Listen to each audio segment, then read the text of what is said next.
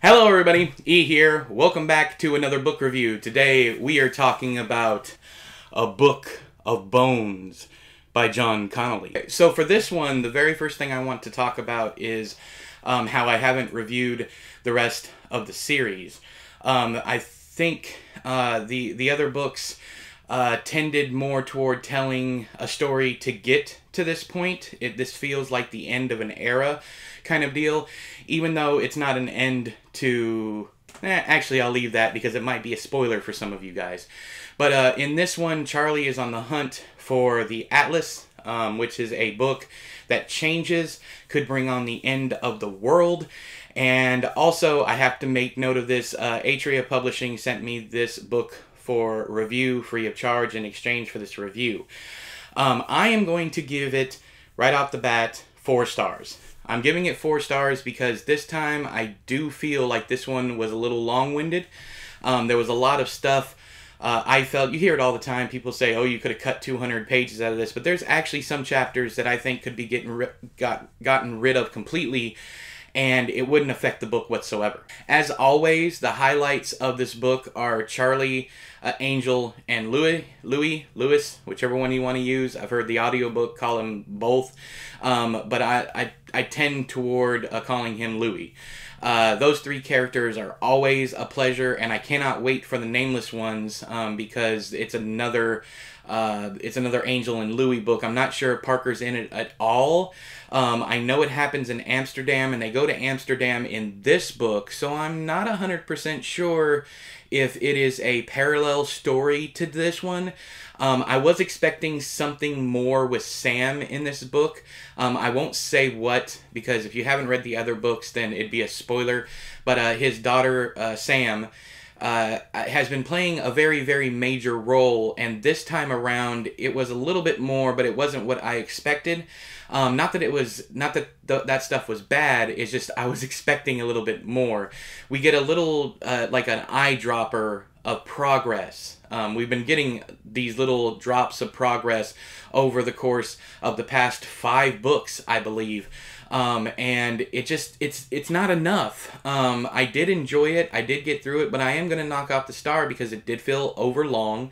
Um, at the ending, in fact, I was at three stars before the ending came along. The ending is absolutely stellar. It's fantastic. Um, I enjoyed every bit of it. Uh, there's little Easter eggs to other books, much earlier earlier books. Um, all the way back to I think it's book three that I really appreciated because I was wondering I was wondering what happened to these characters on the other side, as it were, and I think we got. Uh, I think we got. I well, I got the answers that I wanted. The last thing I want to talk about is um, is kind of a question. Is is this book a good culmination of the storyline up until this point?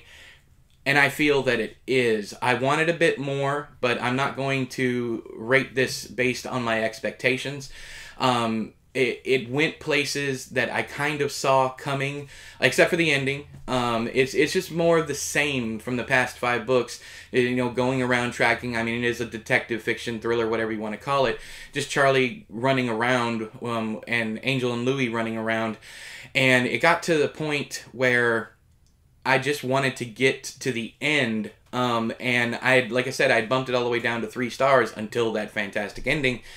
Um, do I think that you should read the entire series? I think this is important because this is book 17. There's 18 books so far. The Dirty South came after this one, um, but it's actually a prequel. Uh, the Nameless Ones continues on the story, and then there's supposedly another one coming after that that brings us back around to Charlie. So, um, and this is all uh, rumor mill kind of stuff, uh, so people piecing together stuff that Connolly has said on Twitter and j- newsletters and things like that. Um, do I think you should read the entire series? Yes, I think you should. Um, especially if you're going to read this book. Uh, it was sold to me. It was well, I was told that it was a standalone, but I don't think you can read the last five books as a standalone.